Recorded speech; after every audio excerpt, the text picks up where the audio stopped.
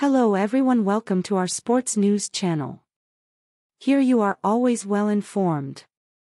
I ask you to subscribe, leave your like and thank you. The Denver Broncos wide receiver group has plenty of talent, upside and potential. They are also a football riddle, a mysterious maybe in the team's latest attempt to dig out of offensive woes that have contributed to a playoff drought that dates back to the Super Bowl 50 victory. Consider, since Jerry Jeudy and KJ Hamler arrived in the 2020 draft as first and second round picks respectively, Jeudy, Hamler, Tim Patrick and Courtland Sutton have played in two games together over three seasons. 2. Out of 50. Sutton tore the ACL in his left knee in 2020, Hamler suffered a torn left ACL and hip injury in 2021 and Patrick tore his right ACL in training camp last summer. But as another training camp approaches, Broncos rookies are scheduled to report July 19, veterans July 25, they are left to wonder what it all could look like if they can avoid the injuries and offensive inconsistencies that have curtailed their progress. It would be amazing, Patrick said.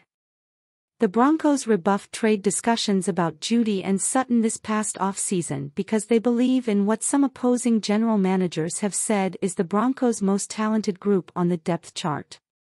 Here's a look at what might be the Broncos' most intriguing position groups as camp opens. How hard have the Broncos tried to make this work?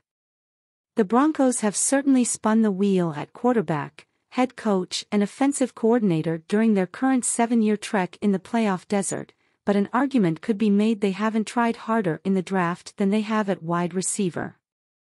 In the last seven drafts, the Broncos have used 11 picks on wide receivers, with at least one wide receiver selected in each of those seven drafts.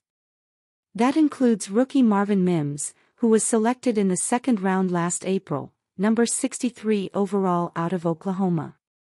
The Broncos have one 1,000-yard receiving season and one Pro Bowl selection in the previous 10 selections, Sutton in 2019, to show for it. I'm learning Courtland's progress, he's doing well, Coach Sean Payton said as the off-season program drew to a close. Man, he's transitioning well. I give him a hard time that 2019 album he put out was pretty good. We're looking for another really good soundtrack in 2023. He wants to please, and he works his tail off. How big a role must Jeudy play for the Broncos offense to turn it around?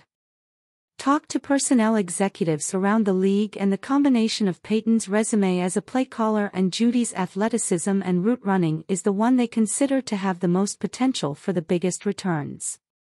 Jeudy drew plenty of trade interest early in the offseason, but the Broncos see what others see. Sources in the league said repeatedly this offseason the Broncos wanted a first-round pick in exchange for Jeudy before Payton publicly said the Broncos weren't going to trade him. The Broncos eventually picked up Jeudy's fifth-year option for the 2024 season. Always good to be wanted, Jeudy said.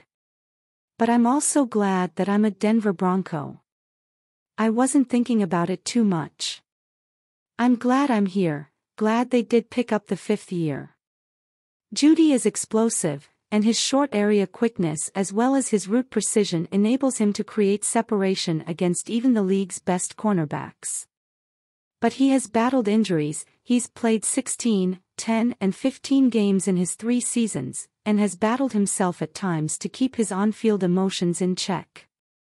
Opposing defensive coaches often tell their defensive backs to try to rattle Jeudy, get physical, tug a jersey, verbally engage him.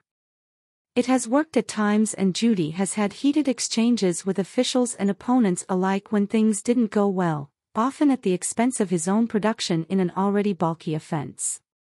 Payton and wide receivers coach Keary Colbert have also emphasized Jeudy's hand placement during catches, thumbs together, not pinkies, to improve his consistency as well.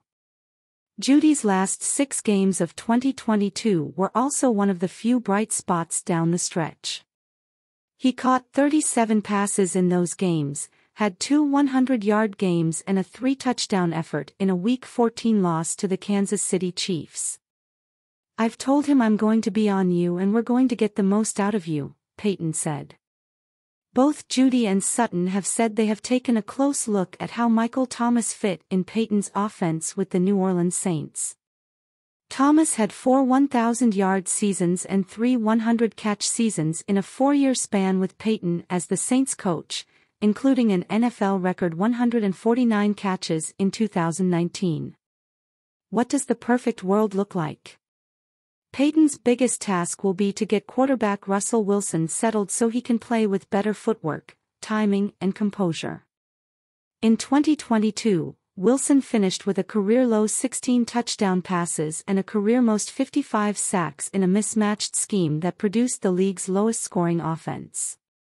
The Broncos surrendered a first-round pick to hire Payton, spent big in free agency to upgrade the offensive line, tackle Mike McGlinchey signed a five-year, $87.5 million deal, guard Ben Powers signed a four-year, $51.5 million deal, and used their opening selection of the draft on Mims. However, the words, if healthy, loom the largest for the position group. They have speed, size and physicality with players who can challenge defenses in all parts of the field, a tantalizing combination. Hamler, who's working back from knee and hip troubles, suffered a torn pectoral early in the off-season and Mims was held out of the final stages of the off-season program with a leg injury. Hamler has been living at Patrick's house during the off-season. One of the things I've been preaching to him is get a routine, while each receiver has said they have done everything possible to keep themselves on the field in the weeks and months ahead. It's something that we all want, Patrick said. To make sure that this season there's no excuses.